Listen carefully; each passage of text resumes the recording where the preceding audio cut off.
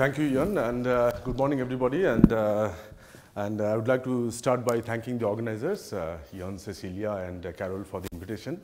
It's a great pleasure to be here and in this meeting. So, so I, I realize that most of you are probably mathematicians and very few physicists around. So, so this is a talk about physics. physics uh, so I'll try to explain to you as much as I can. And uh, so, so the, the main problem that I'm going to talk about, the system is very, very simple. It's uh, just a free non-interacting fermions, n of them, in a harmonic trap in 1D at zero temperature. You know, it's probably the simplest example of a quantum many-body system. And we would like to sort of uh, uh, study two observables. So one is this number variance, uh, and the other is the entanglement entropy, and I define uh, exactly as I go along.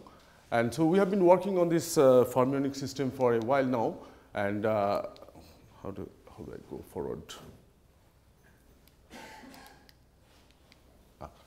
So uh, with various collaborators, uh, Pasquale Calabrese, David Dean, Pierre Le Doussal, uh, Ricardo Marino, who was a PhD student, Grégory Schehr, and Pierpaolo Vivo. And uh, so some results are published in these papers. And uh, what I'm going to talk about today particularly has to do with this PhD thesis of uh, Ricardo Marino, at least part of it on the number variance. And uh, so Ricardo was, he did his PhD at LPTMS with me and then uh, he was a postdoc at uh, Weizmann and now he has joined a big data company in Paris. So a loss for physics. So anyway, so here is the outline of my talk. Uh, so I'm going to talk about, as I said, system is very, very simple. In spinless interacting fermions in a 1D harmonic trap at zero temperature, okay, ground state. That's the simplest, sim simplest system. And uh, so what I'm going to do, talk about is just you know take a subsystem around the trap center, say minus L to plus L, and uh, and given this interval, we want to look at two observables. So the first one is the number variance. That means how many fermions are there in this subinterval minus L to plus L. Okay. Now this number, even though the system is at ground state, because of quantum fluctuations, the fermion positions still fluctuate. So as a result, this number, this number of fermions inside this subinterval minus L to plus L also fluctuate even at zero temperature. And we want to know what is the fluctuation, what is the number variance of this. So that's the first observable. And the second observable is this entanglement entropy of this subsystem minus L to plus L with the rest of the system. And I'll generally consider the Renyi entropy, which is defined by this parameter Q, so this is just a log trace of the, uh, so you take the full density matrix of the system and then you look at the reduced density matrix of the subsystem A and then we look at the trace of rho A to the power Q. So in the limit Q goes to 1, it reduces to usual von Neumann entropy. So these are the two observables. Now, in general, they are not related to each other, but we'll see that in some regime, in this problem at least, they get related to each other, which is very nice because Entanglement entropy is something that is not easy to measure experimentally, and uh, whereas number variance is something that is easy. And so the relation between them helps to measure the entanglement entropy. So that's the main point. And uh, so to so the main question that I'll ask is that as I vary this system, you know, the subsystem minus L, this system, size L, by keeping the number of fermions n fixed, so how do these two observables change as a function of L? Okay, so that's that's the main question I want to ask. And what we will see is that there is a one-to-one -one mapping to, uh, to a random matrix theory problem of the Gaussian unitary ensemble uh, between these fermions and uh, GUE. And uh, this mapping actually helps us to obtain exact results for large n with fixed L. Okay, so that's the sort of main, main point. And uh, so I'll discuss in detail this mapping to RMT. And uh, finally, I'll just summarize and conclude with some open problems. Okay, so let's start. So as you know that you know the, in recent days there have been spectacular progress in the in the experimental progress in the cold atom systems. Uh, this is the main motivation for this work, and uh, so basically these guys you know these experimentalists they can do amazing things. You know they can tune the interaction between the atoms, they can tune the temperature, and uh, so they can probe the uh, sort of quantum and statistical fluctuations in many body systems at low temperature very easily and uh, using laser traps by confining the fermions in a, you know, or bosons in a finite uh, region of space. And uh, as a result, it can probe interesting quantum many-body effects even in the absence of interaction. As I said, they can tune the interaction between the cold atoms. And uh, so, for instance, even in the absence of interaction, just because they are quantum particles and uh, just because there are uh, interesting statistics to them, for example, for bosons, you can have Bose-Einstein condensation even for non-interacting bosons. And similarly for fermions, also you, because of the, even though there is no direct interaction between the fermions, because of the Pauli exclusion principle, which means that two fermions cannot be in the same quantum state. So this leads to a rich quantum many-body physics, which can be directly probed by these experimental systems. And just to show you a picture, uh, okay, before that, so what is the typical setup in these experiments? Uh, that uh, they have these atoms, and uh, they put them in a laser trap, which is a confined. Typically, it's a harmonic trap, but they can do with uh, general potential, trapping potential V of x, and, uh, and they can do it in 1D, 2D, higher D, 3D, and also at uh, finite temperature or zero temperature. So what this trap does is to put these atoms in a confined region of, confine them in a, in a, a region of space, and so they are not, you know, translational invariant many-body system. So there, there's inhomogeneity in the density. There'll be more uh, atoms near the trap center and less atoms near the edge. Okay. And just to show you a picture of the, uh, this thing. So these days, for example, this is uh, from the Greiner group at MIT.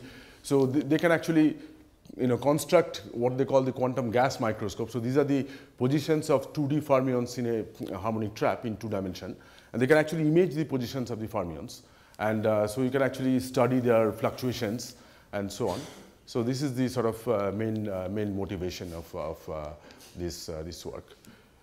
So, so as I said, you know, the, the, if you look at the uh, typical atoms, it could be bosons or fermions. I'll be mostly talking about fermions. So, and here you see that near the trap center, if you, if, this, if you are here, then uh, you won't see the curvature of the potential. So as a result, it behaves almost like a translation invariant system.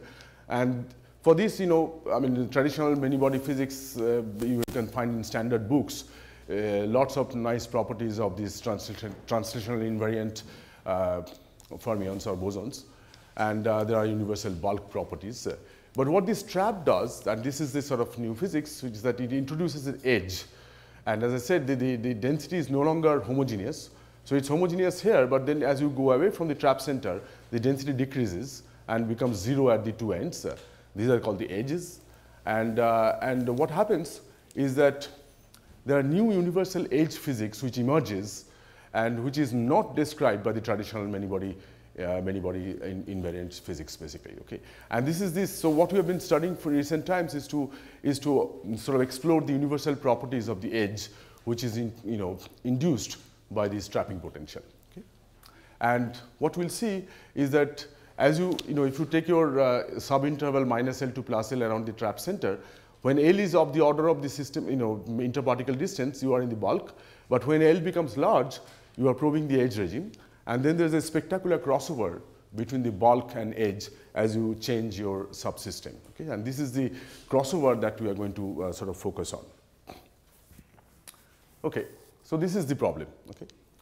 So let me just, you know, some of you may not be familiar with it, so it's very basic physics. So let me just remind you a little bit uh, just the background of this general setup at zero temperatures. We are dealing with this quantum system and so what, what is the problem exactly?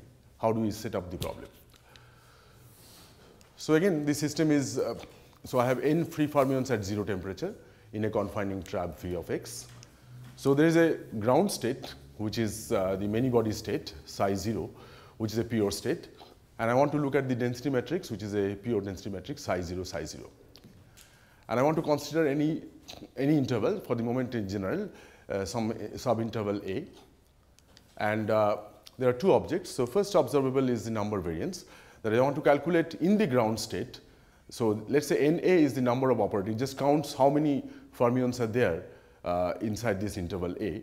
And as I said, because of quantum fluctuations, even at zero temperature, this number is not a fixed number. It fluctuates from sample to sample. And uh, so, so we would like to know this operator and you look at the variance of this operator in the ground state. Okay? So this is the number variance, that's the definition. And uh, entanglement entropy is, as I said, you know, you take your full density matrix psi 0, psi 0, and you trace out the A bar, which is the complement of A, and look at the reduced density matrix of subsystem A. And once we know that, then the trace of rho a to the power q log of that one more. That this is the definition of Renyi entropy. Okay? And as I said, q going to one limit, it reduces to standard von Neumann entropy, which is uh, log of rho, uh, uh, trace of rho log. Okay, so so this is the sort of these two objects. Uh, they have been actually for this problem of fermions. Uh, they have been studied by several authors, and I'll come back to them as I uh, in recent times. And uh, so, so let, us now focus on just non-interacting fermion system. Okay. So what's the general setup again? You have a Vx here, potential, and uh, so so the basically, so if you look at, first you have to solve the single particle problem, single particle Schrodinger equation problem. So I look at the Schrodinger equation of a single quantum particle and let's say these are the my uh, eigenfunctions phi kx and psi k, uh, sorry epsilon k are the single particle energy eigenvalues. And then once you have that single particle level, so these are the single particle levels with epsilon k denoting the energy levels.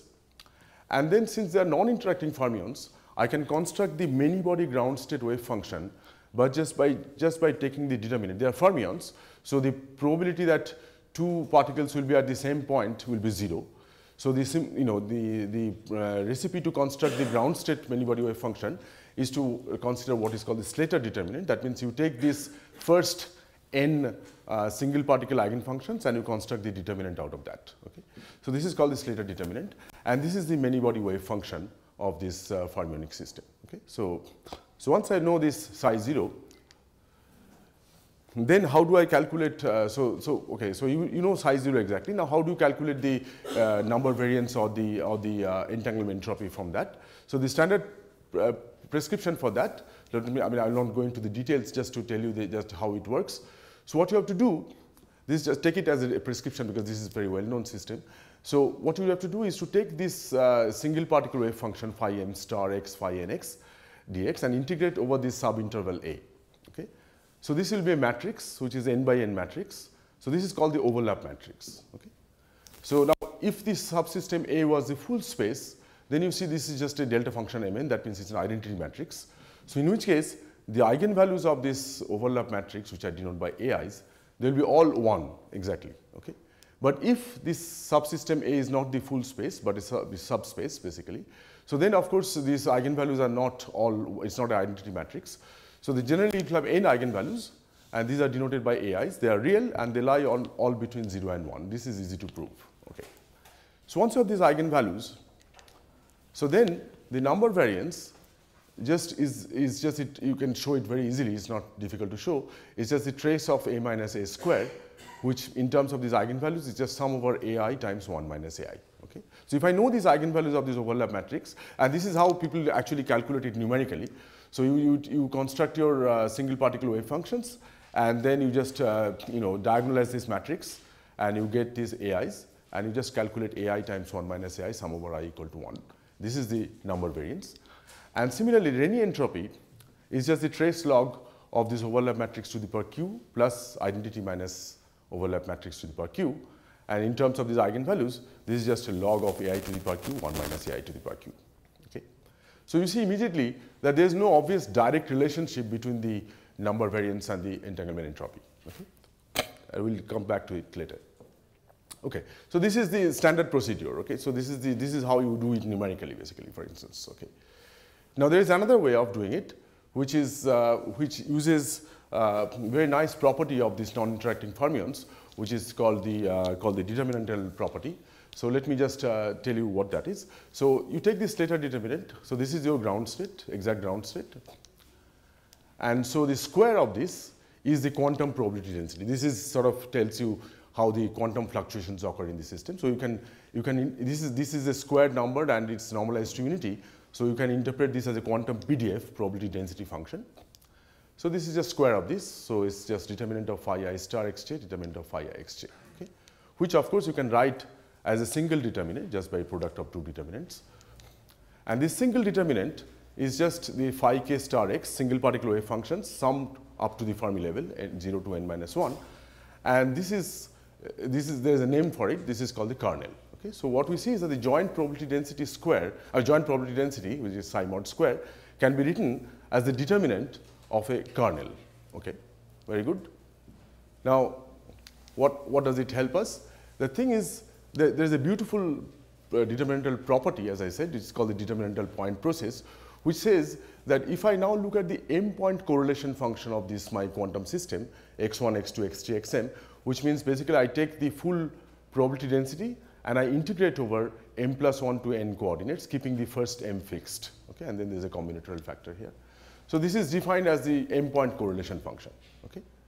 And uh, so what happens is that, the, so this is, uh, we have seen that this object is just the determinant of this kernel.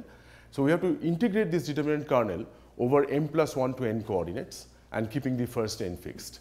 Now the magic thing is that uh, this object, this integral, you can show that this also becomes a determinant. Now it's a m by m determinant, so m point correlation function, this m is just m by m determinant. And the entries of this determinant, entries of this matrix are precisely the same kernel. Okay, so this is a non-trivial property, but this is a property of this determinantal point process. Okay, that is uh, the m point correlation function can be written as a m by m determinant whose entries are exactly the same kernel.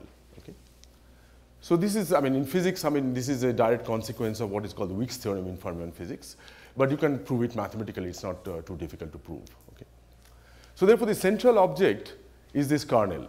Okay, so which is just the phi k star x phi k x. Okay, physicists like to use this notation, but phi k star phi x k equal to 0 to n minus 1.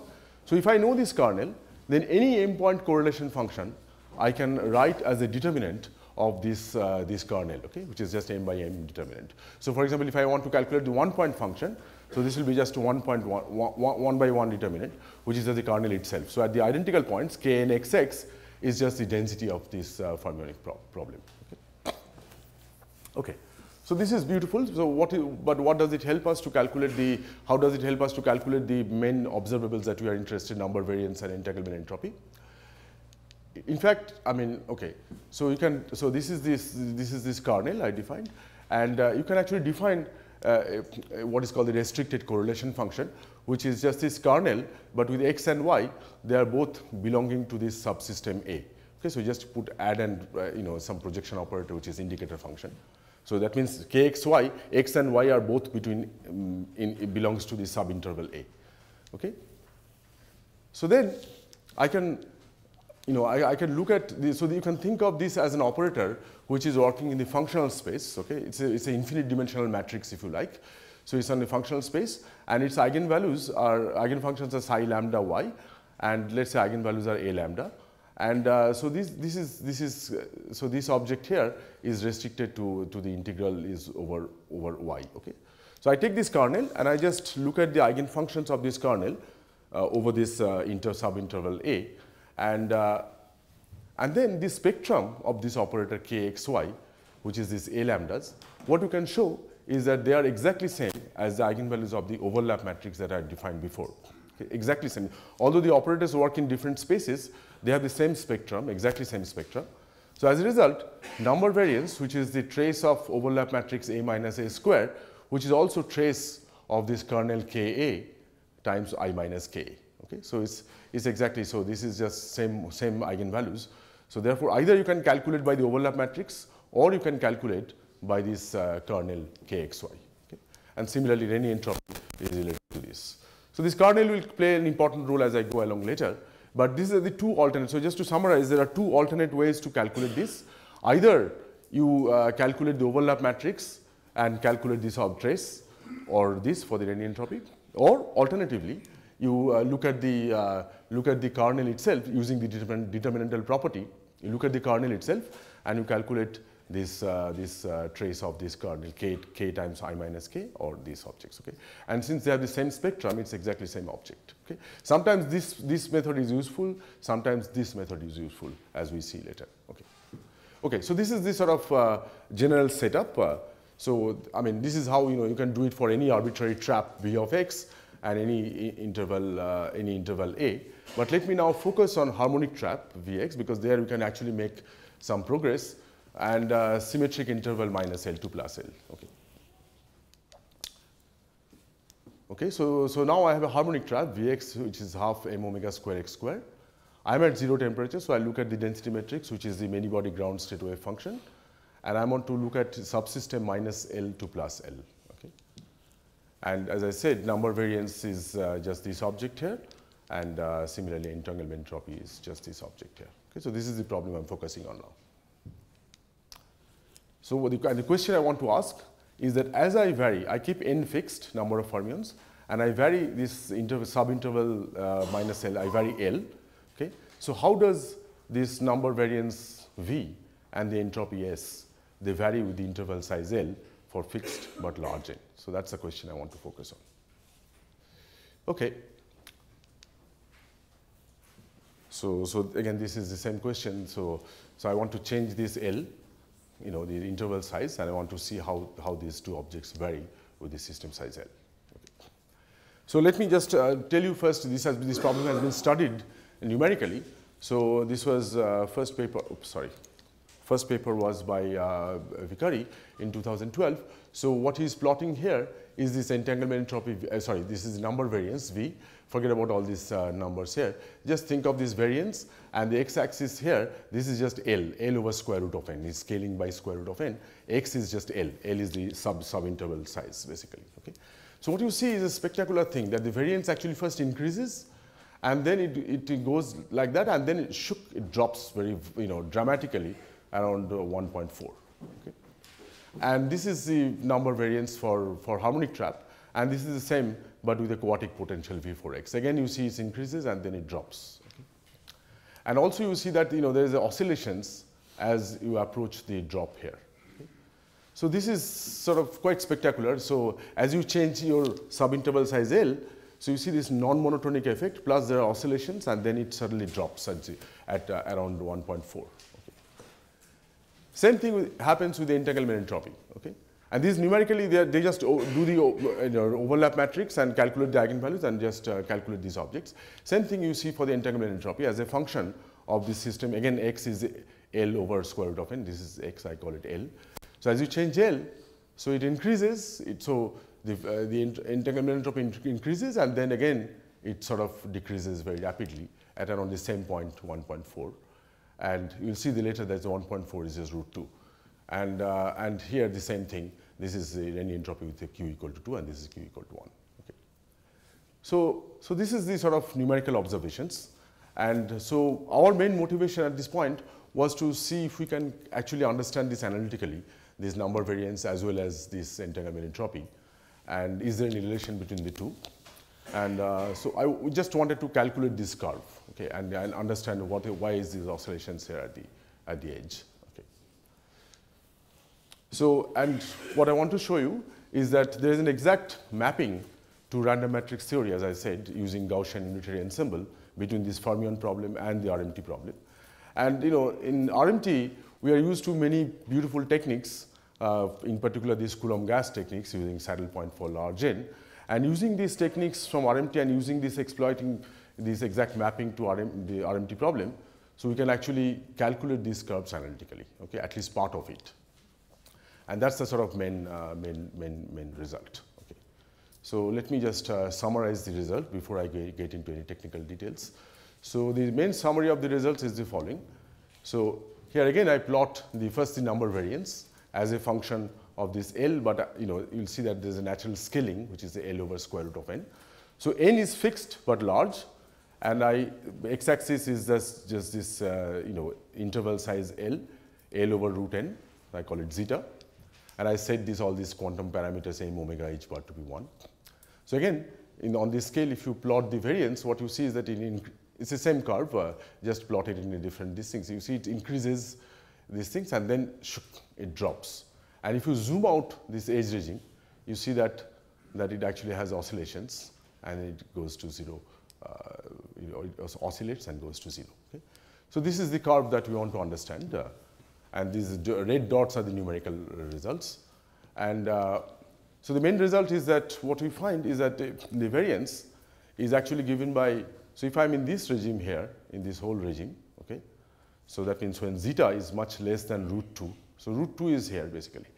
So zeta is less than root 2 but much bigger than order 1 over n which is the typical interparticle spacing. Then the variance has 1 over pi square log of n zeta times this factor here 2 minus zeta squared to the power 3 over 2. So, this, this result is valid over this full range here, okay. but it breaks down in this edge regime. So, when I am edge regime that is when I am setting my zeta to be very close to the edge root 2 plus order n to the power minus 2 third and this s uh, denotes the fluctuation I mean the distance from root 2 from the edge. So, if I scale it like this then the variance can be written as some function of just the scale distance s okay and I, we can compute this function exactly. And then when zeta is much bigger than root 2 that is you are beyond this edge you know in this, this regime here there it decreases like e to the power minus 2n times some function phi of zeta which again this is a large deviation function which you can compute exactly also. So, just to tell you what are these two functions. So, yeah, so these two functions can be computed exactly and uh, so let just to tell you so the fu function v2x v2x remember this is the edge scaling function the oscillation part basically. So, this function is given uh, uh, by this integral here where kai uh, is called the uh, Airy kernel. So, it is just a normal Airy function and you, you construct this, uh, this object. So, this is the called the Airy kernel and is given exactly by this integral. So, you can calculate its asymptotic properties. So, when h goes to minus infinity it goes like log mod s and when s goes to infinity it goes like exponential minus 4 third of s to the power 3 by 2 and in between it oscillates because the Airy function oscillates also. Okay. And beyond edge that is if I go further to the right of the edge when zeta is bigger than 2 then there is this large deviation function which also we can cal calculate explicitly. So, this is just a summary of the uh, summary of the main result. And how about the entanglement entropy? So, entanglement entropy is similarly, so we can calculate again this regime here which is the uh, sort of big bulk regime beyond you know much less than edge. So, here you find that exactly same behavior as number variance. This log factor is exactly identical except that there is a prefactor here which is 1 6 times 1 plus 1 over q. Now, if you are in this oscillatory regime at the edge, so there we cannot calculate anything. We know this will be some function of s, but you know this is we cannot calculate. So this is open problem. And uh, then beyond zeta uh, bigger than root 2, so there it goes like again with the same large deviation function with the factor 2 and there is some prefactor here and this uh, phi of xi. And okay, there is an additional constant here which you could compute non-trivial constant and this is also was calculated in a different context in the fermionic system it's known as the Jin-Korepin constant. Okay. So this is the main summary of the results. So basically we can understand now fully analytically this part of the curve. We can understand this part of the curve. For entanglement entropy, we do not understand this uh, oscillation part, but for the number variance, we are able to uh, we are able to understand, we are able to compute this oscillatory part here. Okay. So this is the sort of main summary of the results. So let me now get to tell you how we derive these results. Okay. So, so first I want to you know just uh, talk about the uh, the mapping to random matrix theory, how it works, and uh, so it's actually very nice, uh, very nice mapping. So all you do is you know this is first let's look at a single particle in a harmonic trap. So everybody knows this is basic quantum mechanics. So you just solve your single particle uh, Schrodinger equation to get the eigenvalues and eigenfunctions. So eigenfunctions are just Gaussian times Hermite polynomials with energy levels k plus half h bar omega, k equal to 0, 1, 2, 3. This all of us know. And this alpha here is uh, just square root of m omega by h bar. m omega is this potential and h bar is the just this quantum h bar. Okay. And these uh, hk's are the Hermite polynomials. Okay. So, you have these uh, single particle wave functions exactly you know. So, now I want to construct the many body wave, many body ground state wave function by taking the first n uh, single particle states and constructing the determinant out of that, right. So, this is the many body wave function Slater determinant. So, so I just have to put the Hermite polynomial times Gaussian inside this phi of xt and calculate this determinant. So, the Gaussian factors just come out so, you just have to calculate the determinant of Hermite polynomials. And the determinant of Hermite polynomial or for that matter any polynomial you can explicitly evaluate and this is very simple because just to give you an example. So, suppose I take n equal to 3 and I look at these three Hermite polynomials I want to calculate this determinant. Okay. So, this is just the determinant of that and you immediately see that by just multiplying this row by 2 and adding to this and taking out all the numerical factors you can easily reduce it to a van der Vandermonde form. Okay? So, determinant of this which is just uh, just just Vandermonde. Okay? And this you can repeat for any n. So in fact, for any n, determinant of any orthogonal polynomial is always going to be just the Vandermonde determinant. Okay? So once you have that, then you have the explicitly the ground state many body wave function, which is just this Gaussian times a Vandermonde. Okay? So if I now square it, which is my quantum many body PDF, quantum PDF, so this is just the square of this, so it's just Vandermonde square. But you know, I mean, when you look at this, and this is just normalization constant, partition function. When you look at this, this is just exactly the joint distribution of the eigenvalues of a Gaussian unitary ensemble.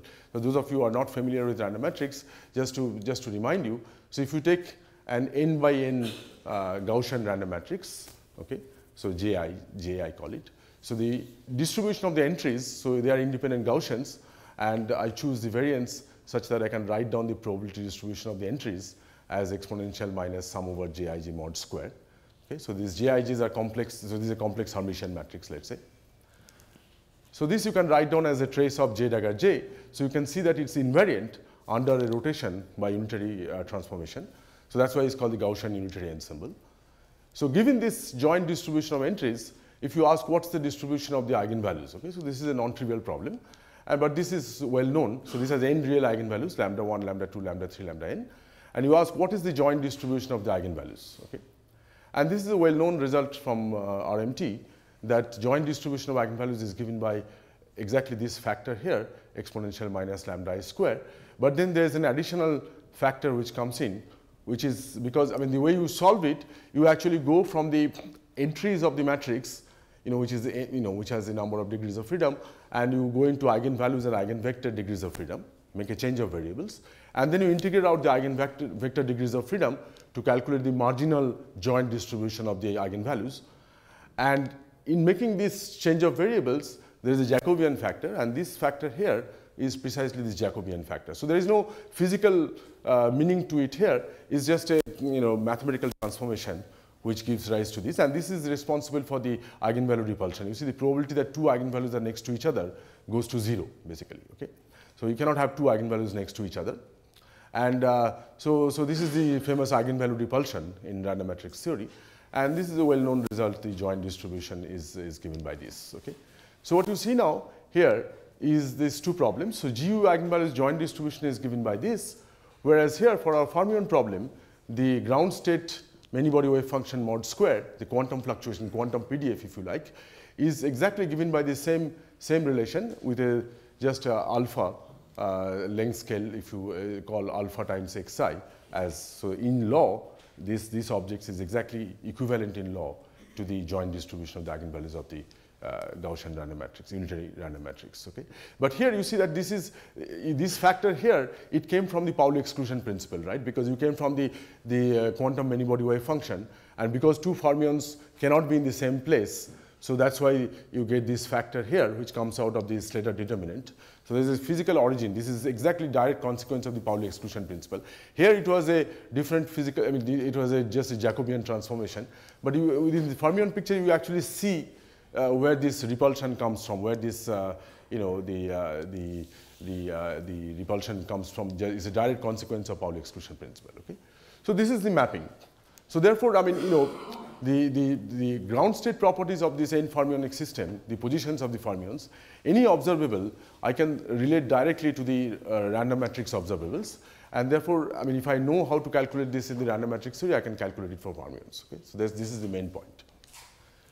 So for instance, okay, if you look at the average density of states, we know from RMT, so the average density of fermions is exactly the same as the average density of uh, the eigenvalues of, uh, of this uh, GUE matrix. And it's well known that, uh, that you know, if you scale it by root n, then uh, the density is given by this Wigner's semicircular form. The scaling function is 1 over pi square root of 2 minus z square in the scaled units.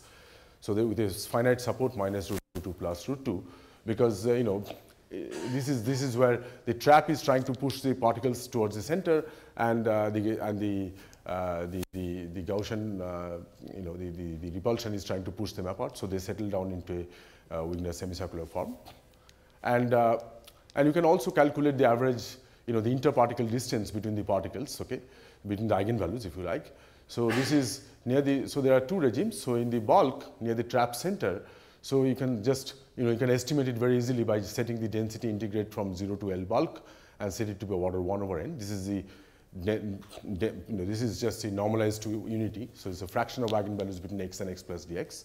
And from this you can easily estimate that the bulk is n to the power minus half. And similarly edge is given by n to the power minus 1 sixth.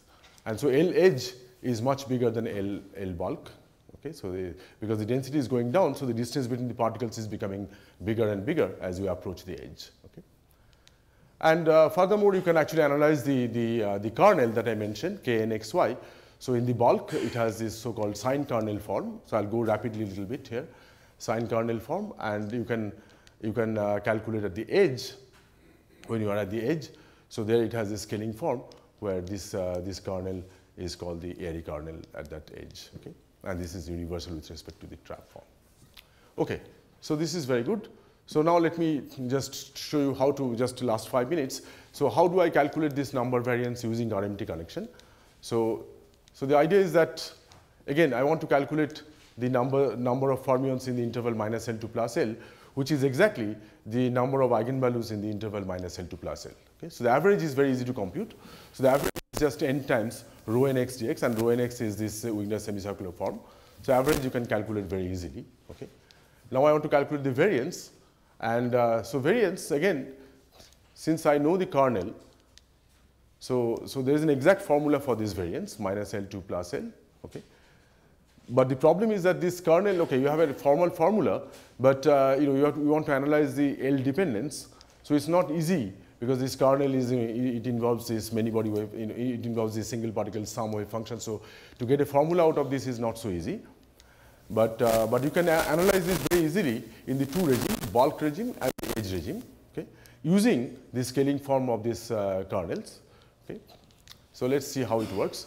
So if I'm in the bulk, that is if my L is of order 1 over square root of an interparticle distance, and if I'm at the edge. So these are the two limits that you can easily analyze by knowing the form of the kernel there. Okay? So I'll go quickly. Uh, so if you analyze in the bulk, if L is between minus L to plus L, then, uh, then you can uh, calculate the variance using the sine kernel form of the kernel and you get this, this is a classic old result by, derived by many people, Dyson Mehta and then Costin Lebowitz. So you get, this is the regime when L is of order 1 over root n. Okay? And uh, so this is the, this is the classic random matrix result, which you can directly transport to the fermions. But we are interested in when L is much larger than order 1 over root n. Okay. And similarly, okay, so other limit is the edge. So if I calculate the edge limit, again by, by plugging in this form of this kernel in the formula, you can actually compute this, uh, this, uh, this scaling function when, when L is of the order of the system size.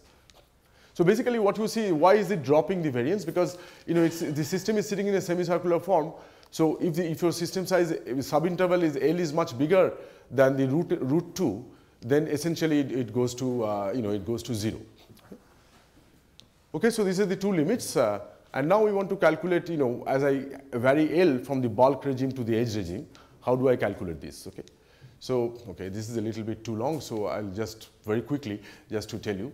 So basically main idea is to compute the, uh, using, uh, you know, the Coulomb gas method. So you have the joint distribution of the positions of the eigenvalues, and what you want to calculate is uh, just the number of uh, distribution of the number of particles inside this subinterval L, okay.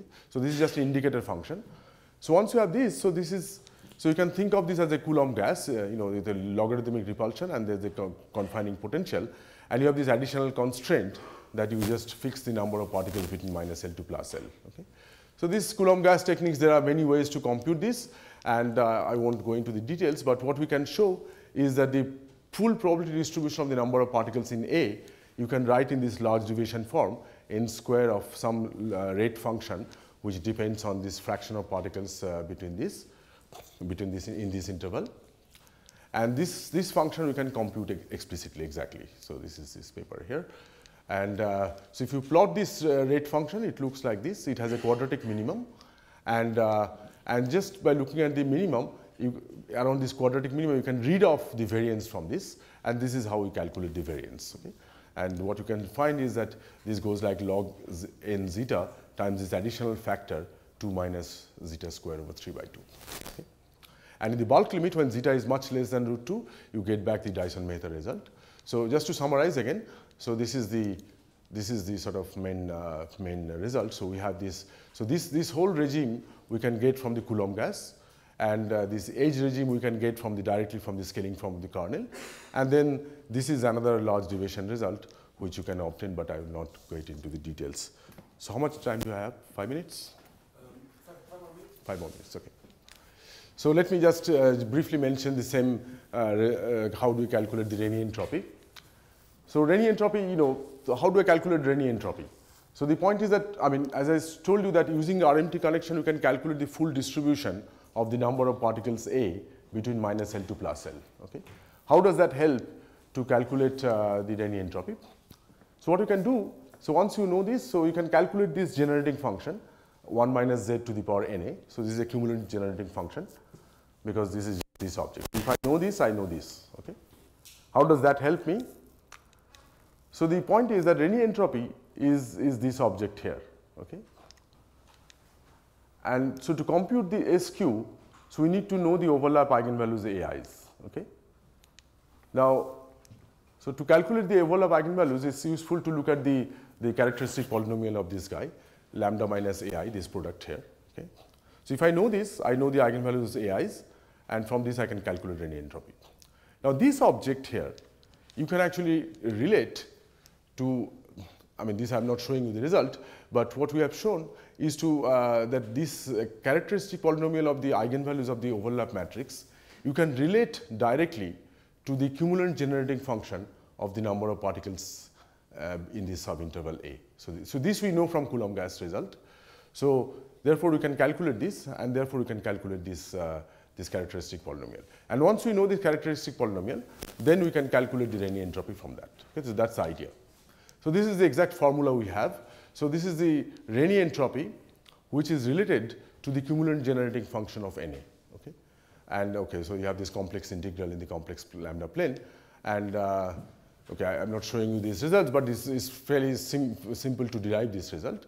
And uh, once you have that, then so then you have to analyze this basically, and uh, so if if it turns out that if the you know if the number of particles Na is a purely Gaussian variable, which it is not, but suppose that it is a purely Gaussian variable, then you can actually do this integral exactly and you can show that the Renyi entropy is just, just proportional to the uh, number variance with a proportionality factor which is uh, pi square over 6 1 plus 1 over q. But and, and, the, and the point is that P of NA as we saw from the large deviation form that it is a Gaussian near its mean so this actually gives us the leading order result for the entropy. Okay?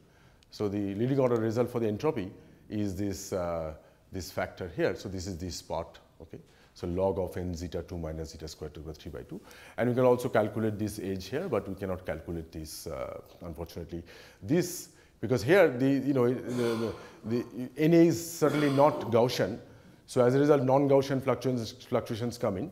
So for number variance, we can calculate this, but for any Renyi entropy, we, we cannot calculate this. So this is a totally open problem. And um, okay, so let me just uh, summarize and conclude. So, so basically, you know, so I've, I've talked about a very, very simple system, a many-body system, which is a non-interacting fermions in a harmonic trap at zero temperature. Okay, and uh, what you have shown is that the eigenvalues of the GUE, these are the, these positions of the fermions, they are in one-to-one -one correspondence, the quantum fluctuations of that is one-to-one -one correspondence to the joint distribution of the eigenvalues of a Gaussian unitary ensemble uh, in random matrix theory.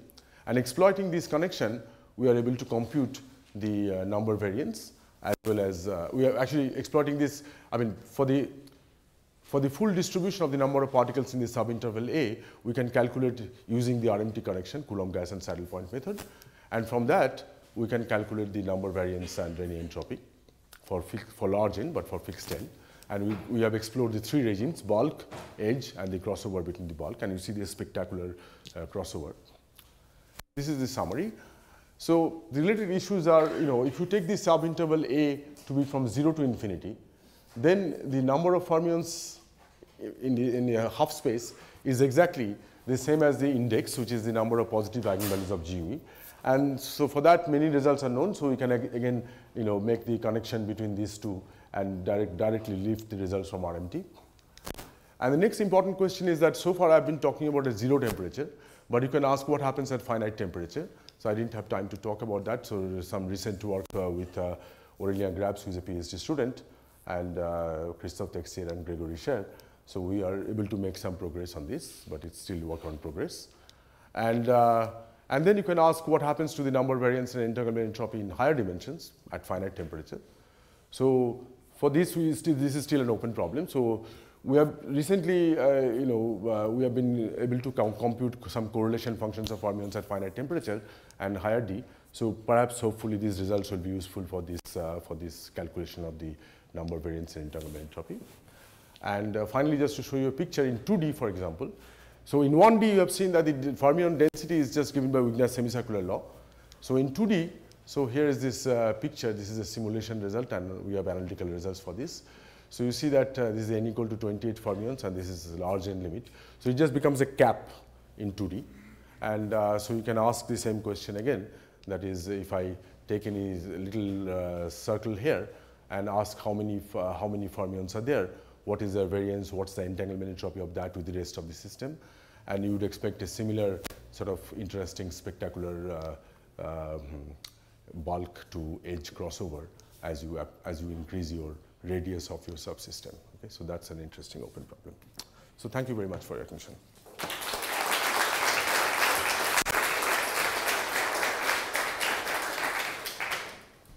So we have time for a few quick questions before the coffee break.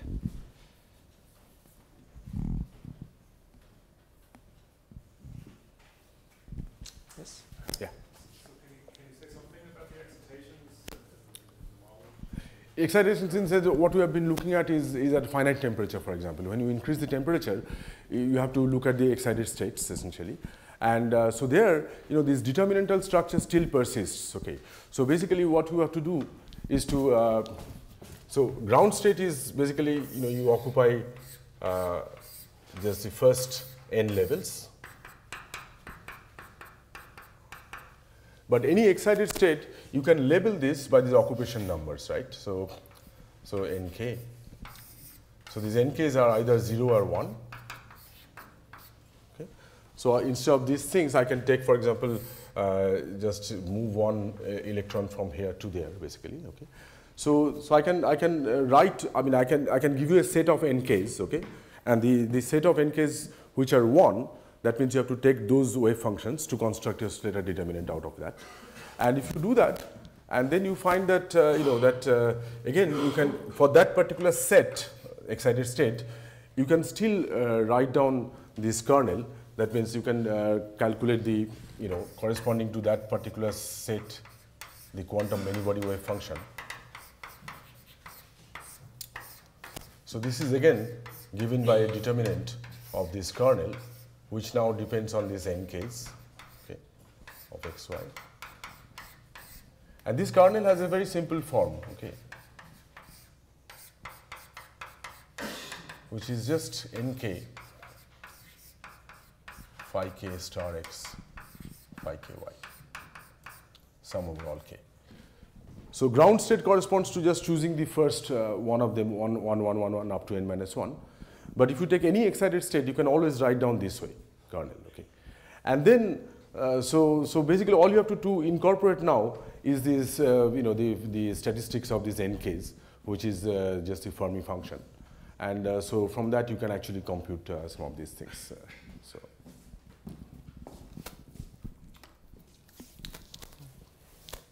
Okay, other questions? Well, if not, then let's thank Satya again.